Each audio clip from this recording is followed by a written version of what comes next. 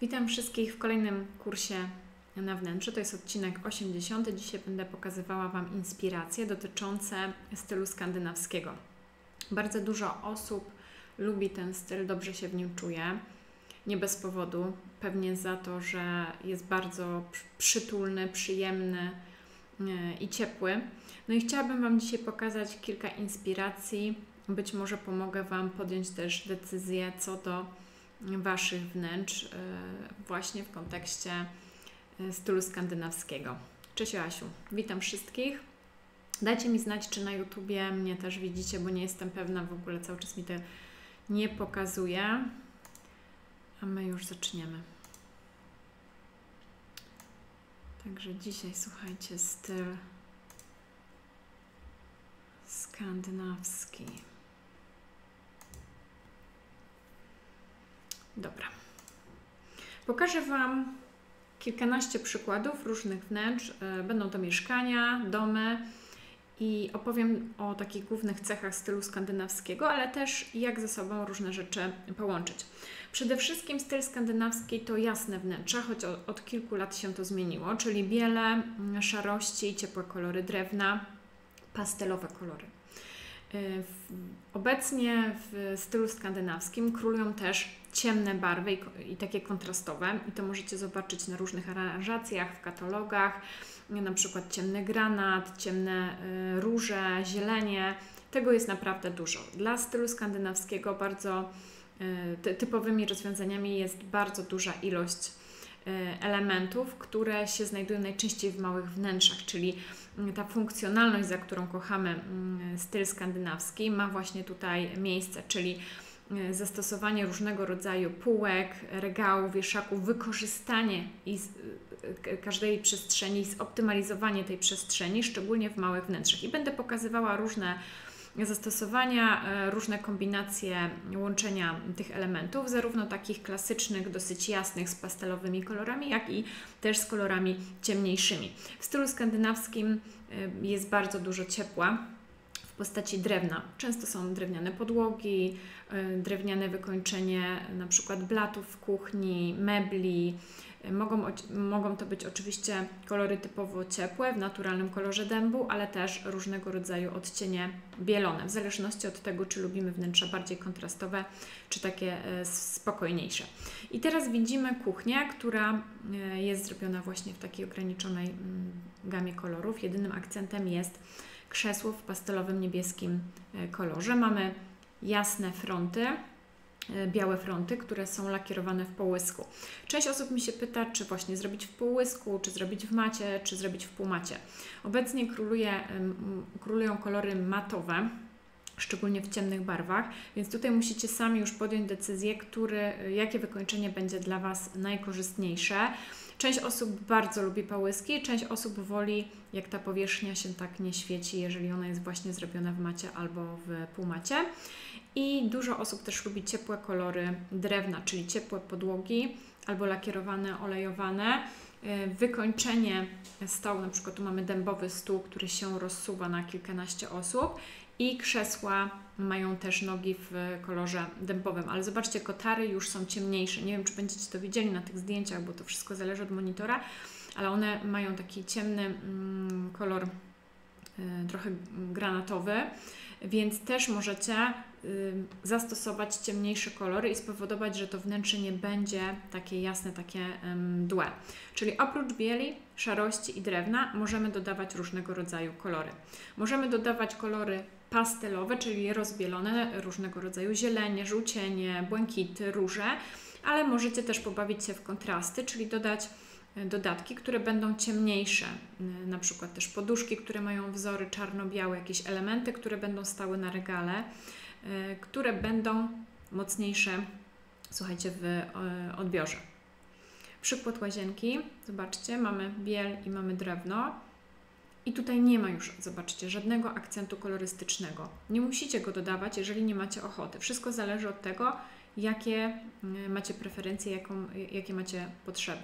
Fragment korytarza z widokiem na sypialnię, bardzo dużo bieli, ale zobaczcie, mamy akcenty w czerni, czyli różnego rodzaju uchwyty możecie zastosować w, w czarnym kolorze, ramki, ramki do lustra, krzesła, jakieś detale, które się będą znajdowały we wnętrzu, napisy czy wykończenie na przykład nóg, też może być w czerni, także możecie się pobawić e, za pomocą właśnie kolorów i akcentów kolorystycznych i dodać te elementy. Możecie też zrobić gamę taką bardzo spokojną, gdzie będziemy mieli tylko biele, szarości, drewno i dodać na przykład tylko i wyłącznie sam e, kolor czarny. Możecie nie dodawać e, ani niebieskiego, ani zielonego, ani żółtego, w zależności od tego, tak naprawdę, co preferujecie i jakie kolory lubicie.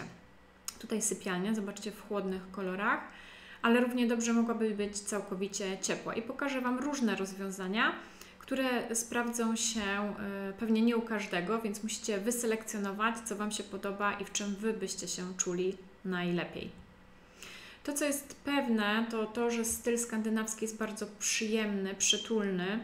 Y, możecie dużo mm, ciekawych elementów, y, znaczy wydobyć pewne elementy struktury za pomocą oświetlenia, więc nie bójcie się ciekawych lamp, zarówno tych podłogowych, sufitowych, jak i różnego rodzaju podświetleń LEDowych tak żeby mm, zrobić sobie przyjemny, y, miły nastrój. Możecie też po, podświetlić różnego rodzaju grafiki, półki, na których stoją zdjęcia i różne elementy. W kuchni, no, tu musicie już dokonać wyboru, czy idziecie w tą klasykę, czyli w jasne barwy i w tym biel, czy chcecie się już od tego odciąć i odważnie pójdziecie w ciemne kolory i zastosujecie na przykład ciemne płytki pomiędzy szafkami, a może ciemne fronty, a może ścianę, którą, e, ścianę na przykład nad, e, nad szafkami pomalujecie w kolorze granatowym albo zielonym. No tutaj już musicie podjąć decyzję, co Wam najbardziej się podoba. Typowe dla stylu skandynawskiego jest wykorzystanie przestrzeni, e, ergonomia i funkcjonalność, szczególnie w małych wnętrzach, czyli jeżeli kilka osób mieszka w małym mieszkaniu, musimy mieć tam różne funkcje na tej samej powierzchni. Tutaj będzie się liczyło to, w jaki sposób tą przestrzeń dzielimy, czy mamy jakieś ażurowe elementy ścianki, tak jak tutaj zobaczcie, część kuchni jest zasłonięta regałem, który jest trzystronny zarówno od strony salonu, jak od strony e, kuchni i od strony jadalni. Tutaj po tej stronie lewej też mamy e, półki i możemy różne elementy wkładać z różnych stron, a jednocześnie mamy przysłoniętą tą część, na przykład z lodówką, więc taki zabieg też możecie mm, zrobić. Kolejne wnętrze w stylu skandynawskim, ale bardzo jaśniutkie, ale kontrast. Mamy kontrast, tak. Mamy czerń i mamy kolor taki granatowo-morski. Na ścianie po lewej stronie mamy granatowe poduszki i grafiki, także możecie ten kolor w różnych proporcjach dodawać. Tutaj jest on w, na całej ścianie, czyli jedna ściana jest dosyć intensywna, a reszta jest uspokojona i później mamy tylko dodatki. Dodatki łatwo wymienić, łatwo wymienić takie poduszki, grafiki, czy jakieś dekoracje, które się będą znajdowały. I jeżeli chcielibyście, żeby on był bardziej kontrastowy, to dodajcie po prostu y, ciemniejszy kolor, na przykład czarny. Możecie zrobić czarne lampy, czarne podsufitki, czarne nogi od y, stolika kawowego albo od szafki RTV.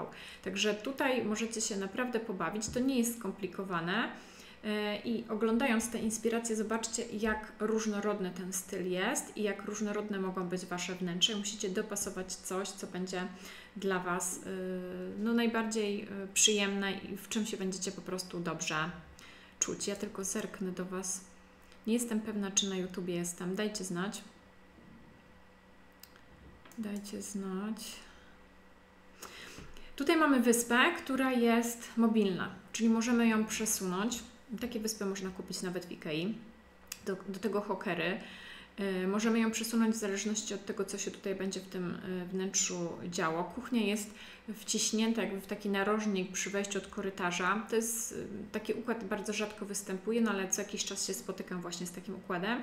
I tutaj mamy problem, bo mamy właśnie już od razu komunikację, więc jeżeli coś takiego się dzieje, a potrzebujemy miejsca do pracy roboczego, to możemy sobie zrobić e, taką wyspę, którą możemy przesunąć, albo możemy sobie zrobić wyspę, która jest na zamówienie i na przykład zastosować e, nogi, do nóżek są mm, zamontowane kółka silikonowe.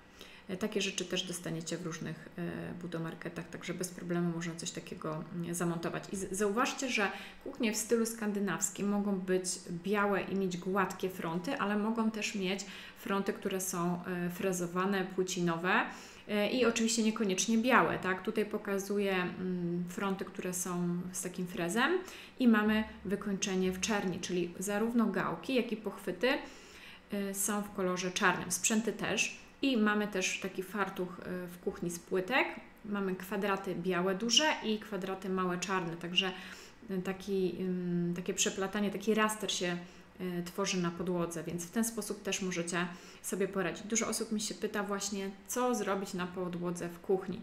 Jeżeli nie chcecie zrobić na przykład drewna, możecie wyznaczyć taki pas i zrobić sobie właśnie płytki, które będą wchodzić pod szafki w ten sposób. Oczywiście rodzajów wykończenia podłogi w stylu skandynawskim jest bardzo dużo. Są e, podłogi patchworkowe, możecie zastosować płytki wielkoformatowe, na przykład 60 na 60, 120 na 60 e, w różnego rodzaju kolorach w szarości, przemazane i do tego dołożyć na przykład deski z drewna. Hmm, panele drewniane albo panele laminowane albo panele winylowe. Możecie też położyć na przykład panele e, winylowe mm, wszędzie w kuchni, tak? Także no naprawdę to zależy od tego, jakie są e, Wasze potrzeby. Jeżeli bardzo kochacie podłogi drewniane i nie przeszkadza Wam, że będą się niszczyć pod pod wpływem różnych elementów, śmieci i drobnych kamyczków, które będą mm, na przykład spadać w tej części korytarzowo-kuchennej, to możecie też zastosować w kuchni, ale tutaj trzeba naprawdę uważać, dlatego że ta podłoga nie będzie wodoodporna i ona naprawdę będzie się niszczyć. Także świadomie y, trzeba podjąć tą decyzję, a dla osób, które się boją, no to lepiej zastosować właśnie płytki albo różnego rodzaju y, panele laminowane albo winylowe. Oczywiście odpowiedniej klas, o klasie właśnie mm, ścieralności i też odporności na wodę. Tutaj mamy łazienkę, która jest zrobiona na kontraście. Mamy biel i czerń, ale tak naprawdę moglibyśmy też dodać y, jako akcent kolorystyczny prawie każdy kolor. Zarówno zielony, żółty, różowy, granatowy, to na co byśmy mieli ochotę w postaci na przykład ręczników, dozowników, elementów, które przytrzymują jakieś rzeczy, które się znajdują w łazience. E, kolejna łazienka, też ograniczona gama kolorów. Mamy biel, mamy szarości, tutaj mamy płytki takie przemazane 60 na 60 na podłodze, masę betonową po lewej stronie, e, trochę drewna do ocieplenia i tutaj po prawej stronie płytki w rąby. I takie płytki mogą być zarówno w bieli, jak i w czerni. Możecie też pobawić się fugami, one mogą być w szarości, mogą być też neutralne w bieli, wtedy mamy tylko taki delikatny wzór, y, który się mocno nie wybija. Jedno i drugie rozwiązanie też będzie pasowało. Y, kolejne wnętrze, biel, szarość w postaci masy betonowej i dużo y, ciepłego drewna w stole, w krzesłach, w stoliku kawowym, i element takie raszki podświetlane LEDem, które delikatnie oddzielają nam strefę korytarzu wejścia do salonu, a jednocześnie to światło do korytarza też przechodzi. Właśnie tutaj o to w tym chodziło. I ten sam zabieg, można powiedzieć prawie lustrzany, znajduje się w kuchni i on nam zasłania część kuchni, tam gdzie mamy lodówkę i część blatu roboczego. Tak jak, także jak stoimy na korytarzu, to nie widzimy y, całej kuchni, ona jest przysłonięta, więc to też jest mm, taki fajny zabieg. I zobaczcie, że tutaj y, fronty są, mogą być zarówno białe, jak i jasno-szare, na przykład matowe, frezowane, czyli mamy front, gdzie ten frez jest wykonany i to jest pochwyt, a część może być na przyciski, na tipony, czyli możemy sobie do, od, um, przycisnąć i po prostu się nam ta szafka otworzy. Dolna część szafek wiszących jest w kolorze drewna, ale zobaczcie, że to drewno nie jest takie intensywne, takie naturalne, tylko właśnie takie rozbielone. Więc w ten sposób też możecie mm, dokonać wyboru i na przykład zastosować drewno, które będzie takie bardziej wybielane. No i później y, wszystko to, co lubicie, koce, pledy, poduszki, dekoracje, już takie, które Wam się podobają. Możecie pójść w czerń, zastosować czarne lampy liniowe, jakieś lampy dekoracyjne nad strefą salonu czy nad strefą tam, gdzie macie jadalnie, donice różnego rodzaju czarne, y, które są na podwyższeniu, też bardzo fajnie wyglądają. Na przykład lampy takie żarówkowe, czyli mamy dużo żarówek na kablu, które możemy rozwiesić, też możecie sobie wprowadzić do wnętrza. Wszystko zależy od tego, co lubicie i jakie są Wasze preferencje. Tu jest ten fragment, o którym mówiłam, czyli stoimy w korytarzu i właśnie te dwie strefy mm, są przysłonięte, czyli nie widzimy do końca, co się dzieje, a światło nam e, przenika. No i zobaczcie, czarne akcenty bardzo ładnie powodują, e, e, bardzo dobrze odnajdują się w, we wnętrzu i powodują, że ono nie jest takie mdłe, całkowicie białe, co nie oznacza, że takie wnętrza bardzo jasne, gdzie mamy tylko biel i nie mamy tych kontrastów, będą złe. Tak naprawdę wszystko zależy od Waszych preferencji. Tutaj mamy kuchnię też z elementami takimi płcinowymi. Zobaczcie, ona jest w szarości. Te uchwyty tak naprawdę mogłyby być nie tylko srebrne, ale również e, i białe, i czarne. Jeżeli byśmy mieli czarne, byłby większy kontrast, te są bardziej delikatne. I element, e, to co mamy na blacie i na ścianie, mamy właśnie w, takich odcieniach, e, w takiej imitacji marmuru. Tutaj możecie zastosować zarówno blaty laminowane, jak i na przykład spiek. Więc y, takich materiałów, y, które udają marmur jest bardzo dużo y, i możecie w zależności od tego, jaki macie budżet, zastosować też mm, coś takiego. Pokażę od drugiej strony. I mocniejsze kontrasty. Jeżeli lubicie kolory, nie chcecie stosować płytek w danym kolorze, możecie pomalować ściany od jakiejś wysokości w danym kolorze zielonym, różowym, niebieskim, no takim, jaki preferujecie. Możecie też zamówić sobie fronty meblowe, które będą miały te kolory. I jeżeli nie boicie się kontrastów, możecie zastosować akcenty w postaci jakiegoś koloru, na przykład dopełniającego. Y, naprzeciwko koła barw macie właśnie kolory dopełniające i y, zastosować właśnie w postaci dodatków. Zobaczcie, pastelowy kolor niebieski na ścianie, i ładny obraz taki z kontrastową plamą żółcieni. Na podłodze mamy płytki takie patchworkowe, ale mogłyby być też, zobaczcie, drewniane. Jedne i drugie by się y, sprawdziły. Także nie ma jednego y, patentu, jednego rozwiązania na styl skandynawski. Możecie naprawdę się tym pobawić. Y, tu jest duża dowolność i różnorodność.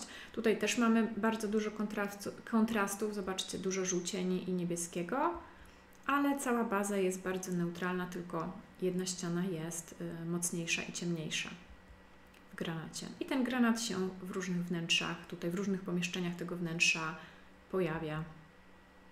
Fajne zabiegi też można uzyskać y, za pomocą lustra. Jeżeli lustro jest y, w ciekawym miejscu zawieszone, albo to, co się dzieje po drugiej stronie jest ciekawe, to ładnie się to odbija y, i te wnętrze mm, atrakcyjnie, fajnie wygląda.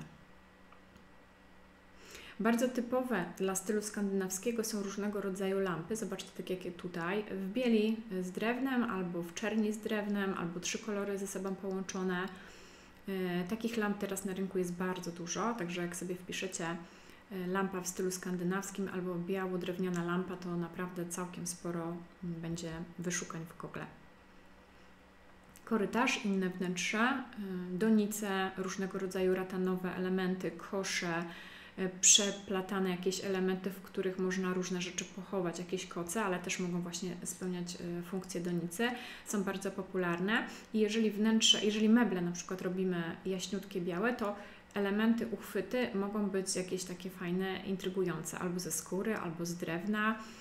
Także te malutkie elemenciki, które gdzieś się pojawiają, żeby dany front otworzyć, mogą być właśnie jakieś takie nietypowe. Możecie sobie zrobić nawet na zamówienie.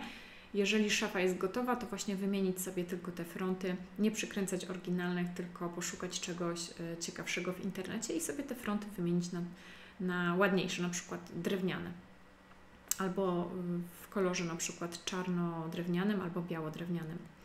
Kolejne, zobaczcie wnętrze. E, jeżeli chcecie, żeby coś ciekawego się działo, możecie różne fajne kształty malować na ścianie i łączyć to z grafikami, obrazami i z lustrami. Tutaj mamy taki pas, który ładnie nam domyka okrągłe lustro przy stole.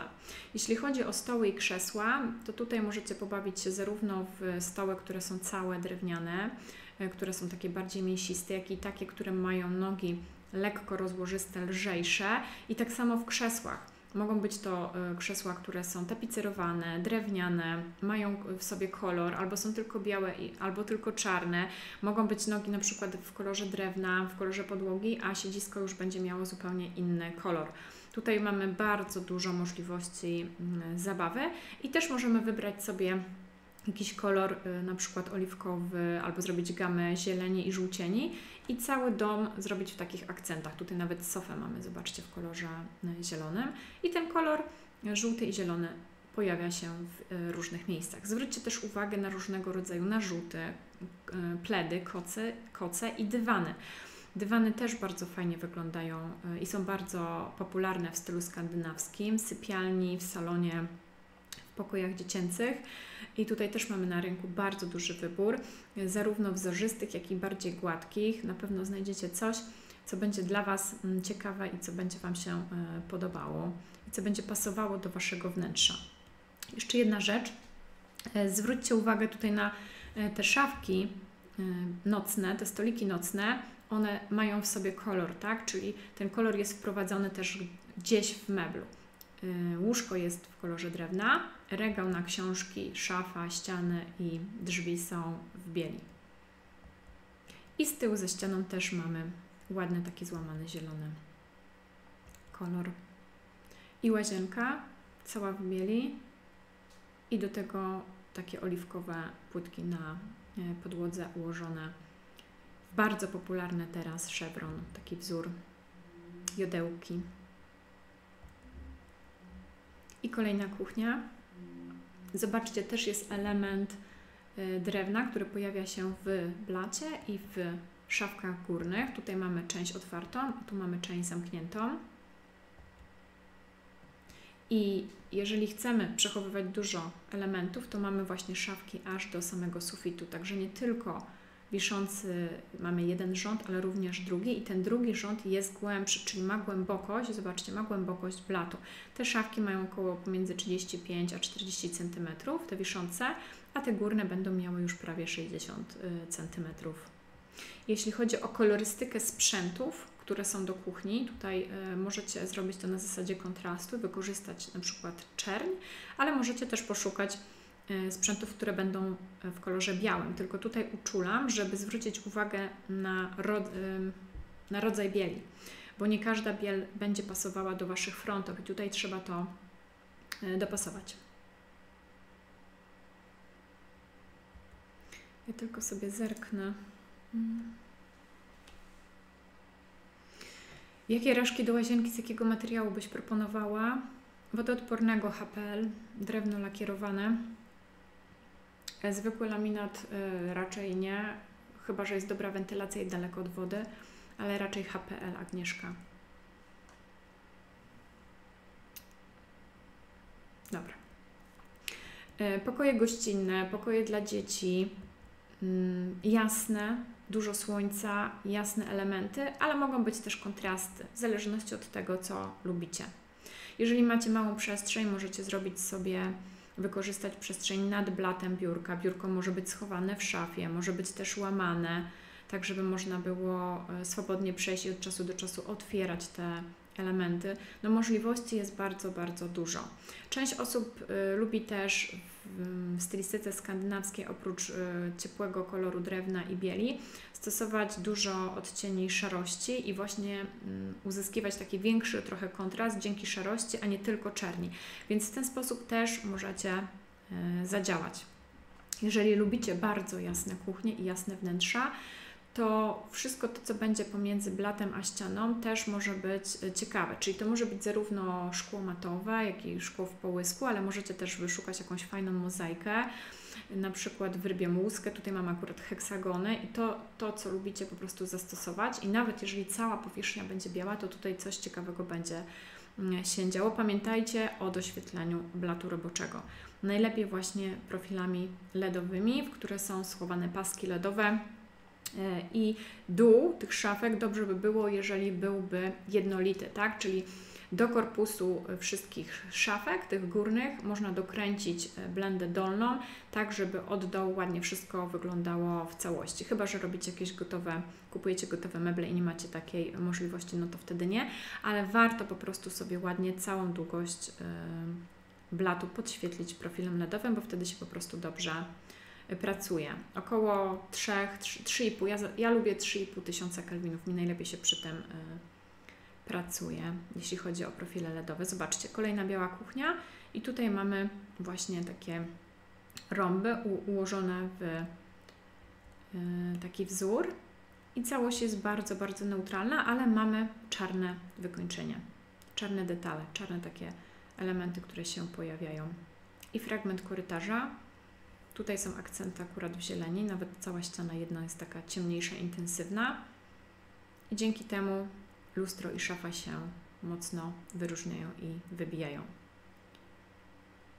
Przykład łazienki. Mamy biel, mamy ciepłe płytki i akcenty w kolorze zielonym. Tutaj trochę chłodniej, trochę więcej niebieskiego i granatów ale też wnętrze jest bardzo jasne. I kolejna łazienka z delikatnym akcentem zieleni, ciepła podłoga, płytki drewna podobne, a całość ma taki delikatny rysunek yy, kamienia. I to może być i szarość, i może być też jakaś taka yy, szarość yy, w ciepłym odcieniu. Takich płytek znajdziecie bardzo dużo. Jest naprawdę mnóstwo producentów, które, mm, którzy robią właśnie tego typu rozwiązania. Zobaczcie też, jak ładnie wyglądają pastelowe kolory na ścianie, także nie musicie się tego bać, możecie w różnych strefach korytarza, klatki schodowej e, czy przedsionka zastosować właśnie takie kolory. Tutaj mamy mm, szkliwione trójwymiarowe płytki o takich asymetrycznych kształtach i jest zrobiona właśnie opaska pomiędzy szafkami górnymi a, a dolnymi właśnie w ten sposób a całość jest bardzo spokojna i neutralna. I ten kolor zielony, zobaczcie, gdzie niegdzie się pojawia. Gdybyśmy ten kolor zdjęli, to wnętrze byłoby bardzo białe. I niektórym absolutnie może się nie podobać, a niektórzy kochają właśnie takie, e, takie jasne, białe wnętrza. I kontrasty oczywiście w postaci e, do różnych poduszek, grafik, to, co możemy wymienić. Jeszcze zwróćcie uwagę, że też fajny jest dywan w takiej liście, złamany zielony kolor. Mm, też bardzo ładnie nam ociepla wnętrze. I łazieneczka, która jest neutralna, bardzo jasna i mamy tak naprawdę tylko płytki drewno podobne i płytki w bieli. Dużo jasnych kolorów. Możecie też zastosować ciepłe kolory piaskowe, beżowe, jeżeli w tym się czujecie lepiej, jeżeli ta biel Wam przeszkadza, a na przykład tylko część mebli zrobić w kolorze białym.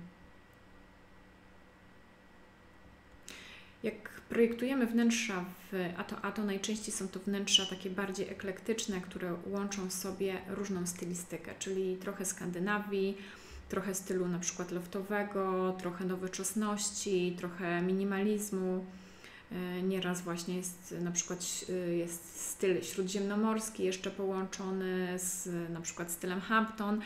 E, raczej każdy z nas ma inne potrzeby i chce po prostu w tym swoim wnętrzu je wyrazić.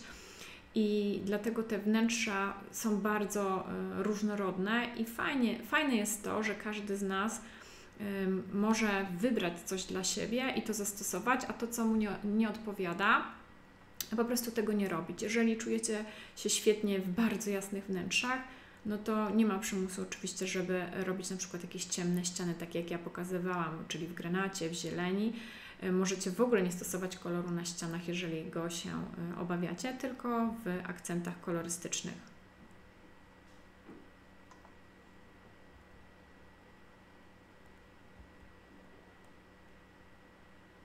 I kolejne wnętrze, zobaczcie, białe fronty połączone z e, drewnem.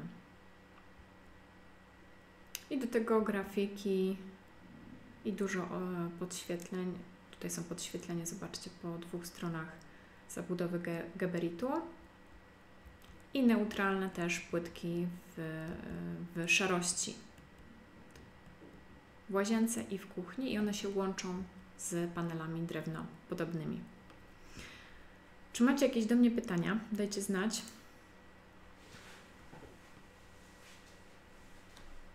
Mm, Jaga pisze, właśnie odpowiedziałaś na moje pytanie. Ok. Ja sobie tylko jeszcze, słuchajcie, zerknę na YouTube. Nie wiem w ogóle, czy nie widzę tego absolutnie, tego streamingu. Dobrze, słuchajcie, ja Wam bardzo dziękuję. E, poproszę wszystkich, którzy są na YouTube, żeby dali znać, czy, czy wszystko było ok podczas tej transmisji. Widzimy się już niedługo za tydzień. Kolejny odcinek, e, już 81. Będę w nim opowiadała o wnętrzach eklektycznych. Zapraszam Was gorąco również na fanpage facebookowy. Jak wpiszecie sobie Studio Ato, Ato na pewno znajdziecie. Jeżeli chcecie dostać powiadomienia o live'ach i transmisjach e, przeze mnie, to koniecznie kliknijcie sobie ten mały dzwoneczek i przycisk e, subskrypcji. No i do zobaczenia w następnym odcinku.